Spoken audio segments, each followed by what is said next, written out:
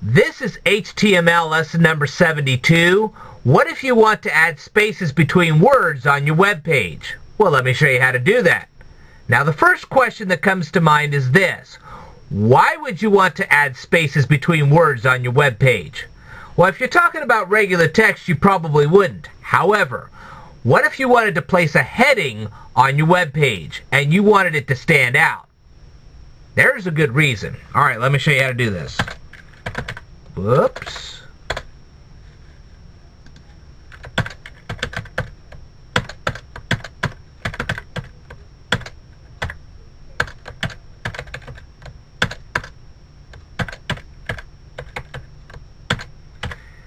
In a second, I'm going to give you a clue as to what we're going to do.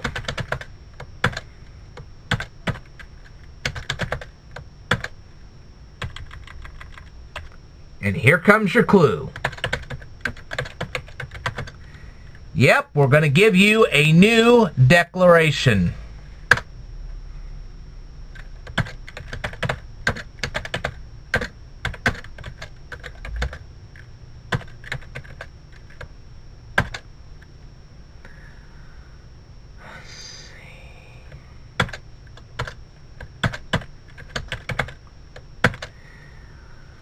Make sure you always have an opening and closing tag. Okay, on all these, make sure you always have an opening and closing tag because if you don't, it will mess everything up. And we don't want anything to be messed up, okay?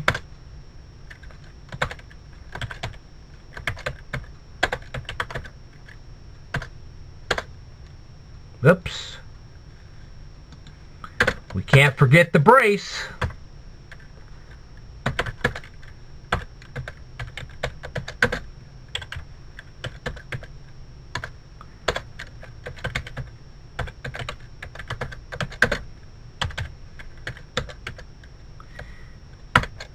Don't forget the opening brace or the closing brace because if you do, it will mess everything up.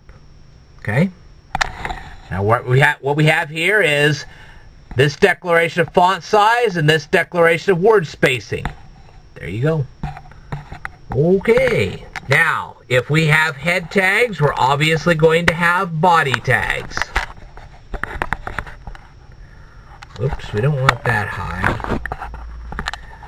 There, that's a little bit better. Okay, now, let's move this down here.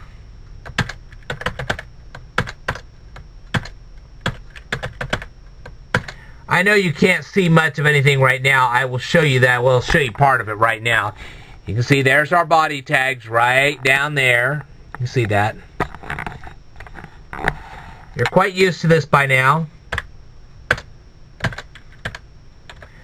Going to place in here H1 tags. We're going to make sure that the opening H1 tag has an ID attribute.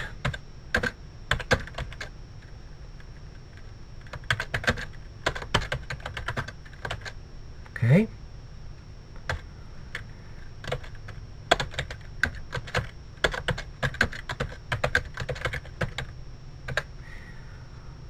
Obviously, if we're going to have heading tags like this, we have to have text between the opening and closing heading tags. Okay? So, what are we going to place between these particular tags for this particular lesson? I'm going to show you that in just a second, but I have a question for you. What is this? You should know what this is. If you do, leave a comment down here in the comments below telling me what this is. Okay? Because I don't want you to forget. All right. Let's this. Hold on. There you go. What are we going to place between the opening and closing heading tags? The words War of the Worlds by Herbert George Wells. Uh-huh. Nice little original title to an original book written a long time ago. Hopefully you've read it. And don't tell me you just watched the movie version. You should actually read the book. It's much more interesting. Okay, now that we've done all that, how are we going to save this? Well, we're going to click File, Save As. we're going to type in word underscore spacing dot html. Word underscore spacing dot html. Okay, we're going to say this. And then we're going to go to HTML student.